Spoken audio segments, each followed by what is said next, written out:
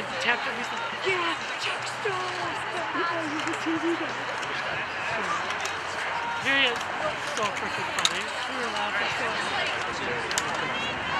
Come on, Ethan. Hold it together on the pitch right here. Come on. Come on, come on. Come on, come on, Ethan. Dip! Go, go, go! That's... Come on, Ethan, go! He's got it. Saved it. Saved it. Saved it.